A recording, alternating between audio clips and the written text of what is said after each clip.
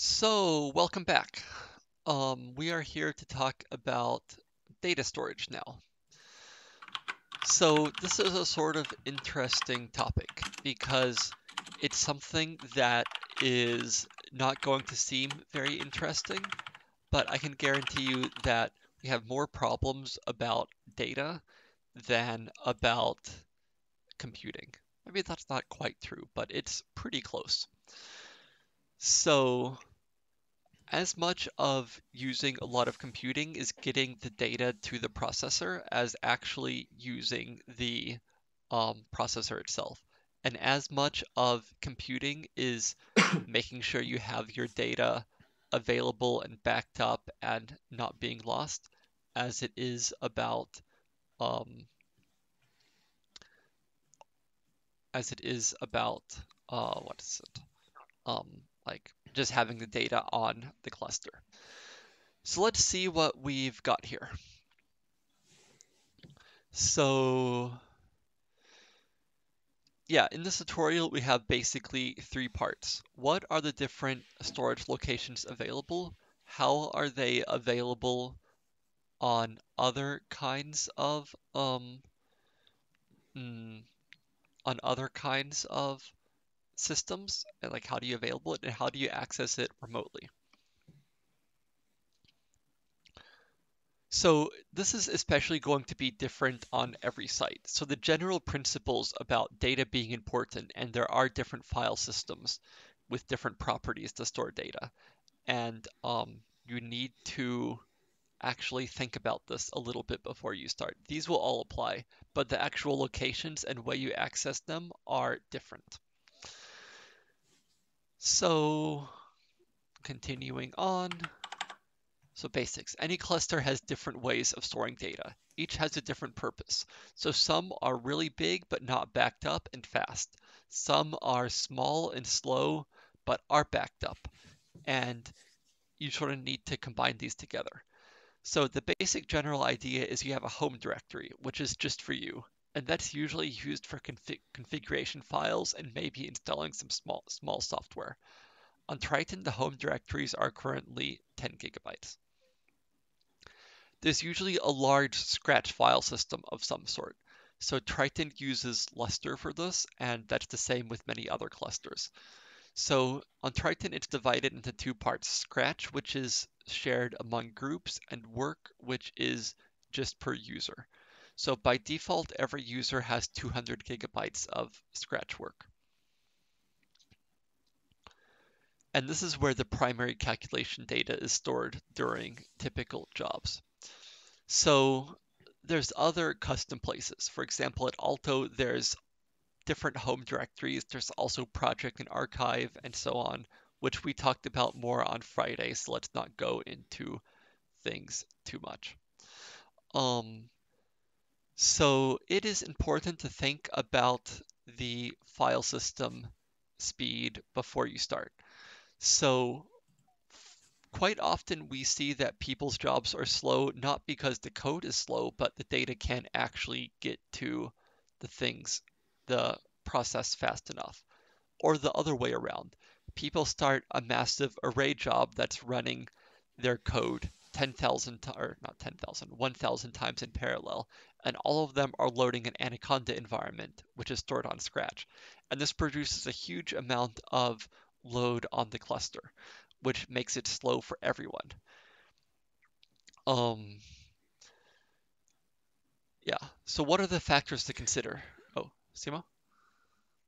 Yeah, I was just going to say that, uh, like, like this kind of um, like the the file system is basically the the blood circulation of the of the system. Mm. It it sends yeah. everything to everywhere. So it, it it sends the nutrients to the uh, to the brain. That's basically the CPU. So if if the blood circulation it gets crowded, if there's a like a uh, like a stuck somewhere, yeah. then uh, it will get stuck the yeah. whole way. So so that's why we want to keep it uh, as fast as possible and it, it's also important for you because you want to well get your stuff done as fast as possible. So you want it to not be congested yeah. We made a strategic choice right now to not go into too much depth about these things, but if you have questions, please come to Garage and we can look at it individually. Yeah, it, we can like just a just a like a quick uh like when when should we when should you think about uh like this kind of stuff?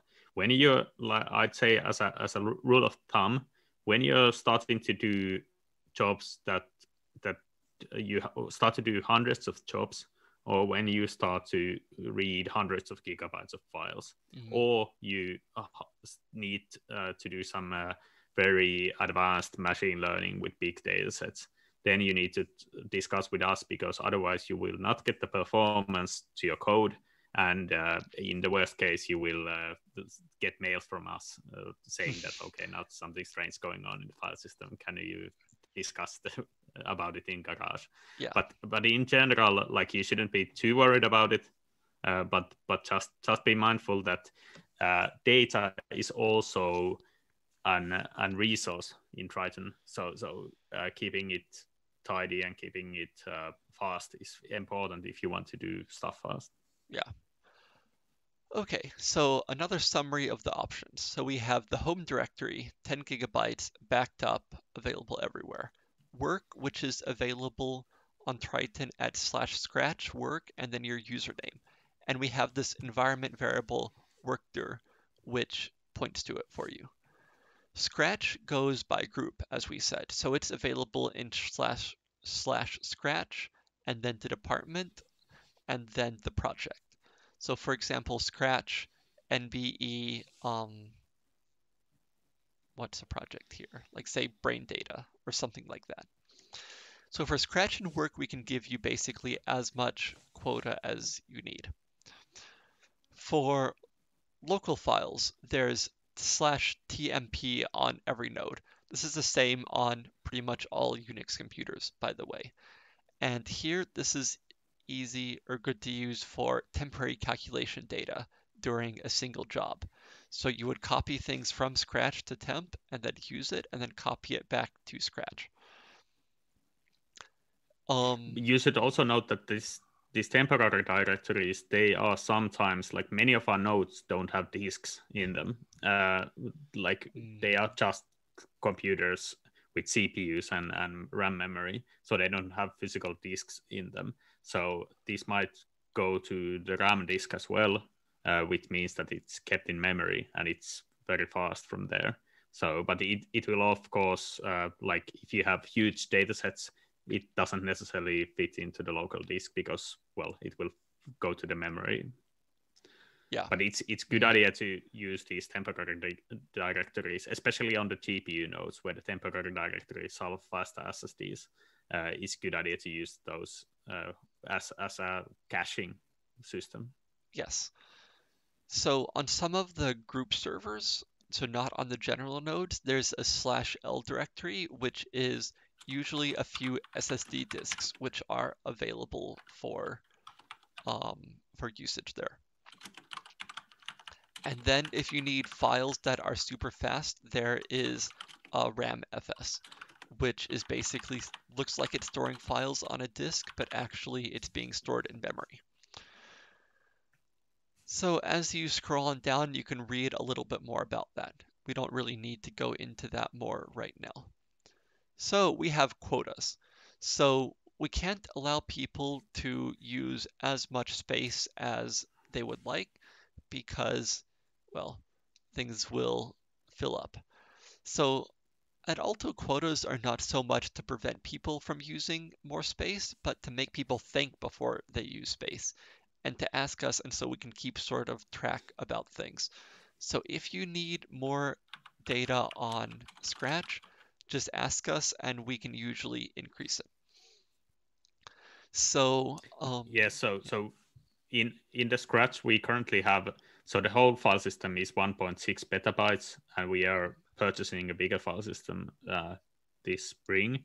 But uh, we are currently using 900 terabytes, so we have 700 terabytes free. So it's not about the space is not missing, or we would have to conserve it in some some way. It's more about like we want people to store data that they use. We don't want people to store data that's just for for, Mhm. for the kicks. Yeah. Uh, so so basically, you will always get the, uh, the the space that you need if you have a valid use case. But but you need to tell us about your use case, what you're doing, what you need the space for. Yeah. And we also look at the number of files you store. So on the Scratch and work file systems, it can store a big amount of data really easily, but there's a bit more overhead for each file, each individual file system you access. And that causes, um, say, if you make 10 million files, then we'll start wondering what you're doing and help you to arrange your data a little bit better. Yes, we've had cases in the past where users have had so many files in folders that if they try to open it with a normal file browser window, it will crash. So, so we don't want that kind of a use case because that means that the users can't actually use the data if they no, no longer can access the data with a, let's say, file browser. So we want to help you manage your data so that you will you will have it in a format where you can actually access it. We will help you uh, deal with it. Uh, but yeah, this is something we need to we can discuss together. Yeah. So the data's on Triton is available at other places within Aalto, for example, through the virtual desktop interface, through shell servers, and on different departmental workstations. So it's easy to seamlessly analyze data on Triton and then view it on a workstation of yours if you need to. Next, we have a section on remote access. So this is something that before we've spent a lot of time on, but now we're going to just give a quick summary, and then if you need more, you can try to follow the instructions and come to Garage, and we can debug things. so it's very important to be able to access your data on, say, your own laptop, wherever you are. And it's best to do that without having to copy it back and forth because that just takes a lot of time. So through the SMB protocol, you can make the data which is on Triton available on your own computer. So you have these URLs here that you can enter and show. So I'm actually not connected to the Aalto VPN, so I cannot demonstrate that right now. Simo, are you Yeah, same that? thing. Yeah. No, Um, no. maybe we can come back and try to demonstrate that in a bit. Um, let's see. So there's instructions for this on different operating systems. Um, VDI works from anywhere in the world, and also there's something called SSHFS, which can operate through SSH and make the data available on your own computer, which is actually what I use more of the time than anything else. Maybe I can quickly demonstrate that. Let's see. Assuming my Triton access is now unblocked. So let's see. So I have, uh, I will make a new directory. Uh, Triton work, and now I list this directory, and I see there's nothing there. So I sshfs Triton colon uh, scratch work darst r1 and then mount Triton wor- work. So here I say just Triton colon, but because I have an alias for Triton set up, but in general this would be darst r1 at triton aalto.v. Let's see. So I do this and nothing happened. Well, as we know from before, no message usually means it just worked. So let's list mount Triton work. And there I have all of my files available now on my local computer. And I can view them, look at them, edit them, whatever. So this is really yeah, handy. uh, this yeah this this is like uh, this example is uh, has some uh, caveats like like Richard said you need to have the SSH keys ready and it doesn't necessarily work with Windows but you might want to use the uh, Samba mounts for Windows for example. But but this is just to demonstrate that it's uh, once you set it up once it's very easy to access the folders uh, remotely. Yes. So now let's get to good stuff but right after a break so you see some exercises here which i think you really we really shouldn't uh, go into detail on so I'll propose we go to a 10 minute break now, and then we will get to actually running things and using Slurm and taking the power of GPUs, CPUs, and stuff like that. Um, so let's have a 10 minute break until 10 minutes past the hour. Actually, that's 13 minutes.